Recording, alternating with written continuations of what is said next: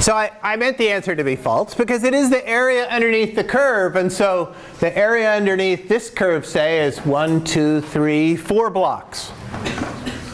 The area underneath this one is one, two, and if you look carefully, you can put those two together and make one. So three blocks. Three blocks is not equal to four blocks, so the work energy transfer is certainly different from those two. How about the energy underneath this one?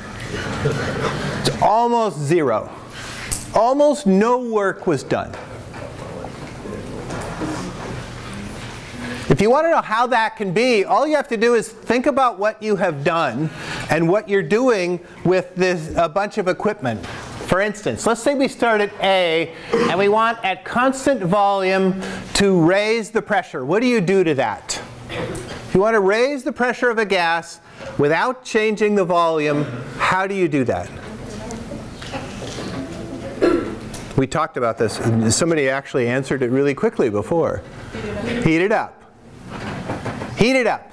Add heat. This is adding heat. I know I've done something to interact with it because the state is changing. How much work energy am I doing along a vertical curve where the volume isn't changing? Remember, work is the area underneath the curve. How much area is there underneath a vertical line? Zero. No work is being done. You're adding heat right there to make that do that. How about when I go to the left? Well, I have to make the volume get smaller.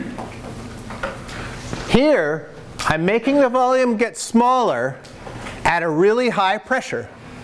If there's, the gas is at a high pressure and I want to drop the volume by a third, I mean by, by two-thirds. Drop it down to a, from 3 to 1. Drop it down to a third of its value at a high pressure. I have to transfer a lot of energy. That's going to be hard for me to do. Compare this one. What did I do to get from there down to there? Took heat out.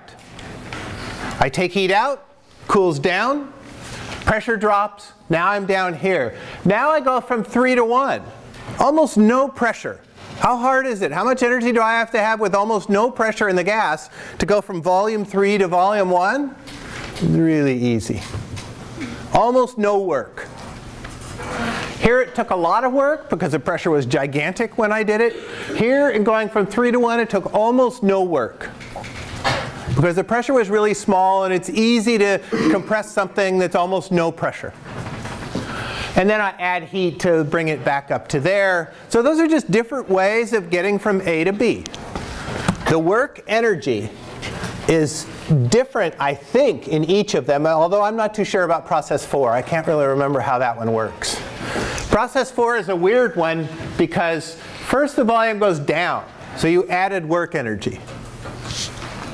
Then the volume goes up, so work energy came out. And then it goes down again, so you added more work energy. And you have to figure out each of those three and add them all together. And there's two plus signs and a minus sign, so the, it's a little more complicated. Probably not something I'll ever ask you to do, but I'm happy to ask you to think about it. Change in the internal energy is the same for each process. True or false?